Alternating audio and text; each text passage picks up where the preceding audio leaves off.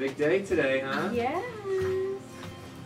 So she was born at 24 weeks. Um, she stayed in the NICU for 117 days. While in the NICU, she had a PDA ligation and she also had laser eye surgery on both of her eyes.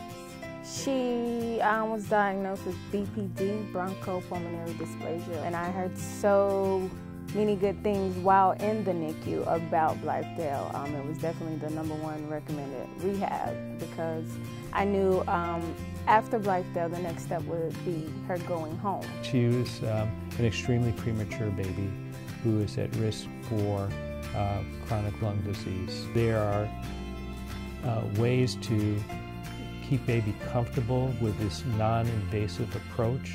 Bubble CPAP is uh, pressurized air oxygen that travels via a humidification system into the baby's nose.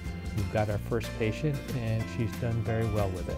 What the benefit of bubble CPAP is that it puts positive pressure on and it will, over time, um, help the lungs expand a little bit so that there's better oxygenation and decreased work of breathing. And the baby isn't wasting valuable calories toward constantly breathing fast and hard all day, but rather those calories are for growth in terms of both lung and brain growth.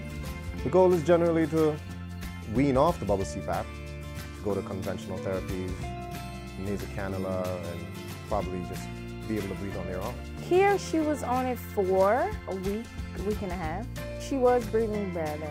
She was able to receive PT, OT. Um, she was able to go to school. Every step was a step for her um, to go home. Make the decision to come to Blythedale. Um, it has been a great experience. We have the time, we have the patience, and we have the know-how to get it done.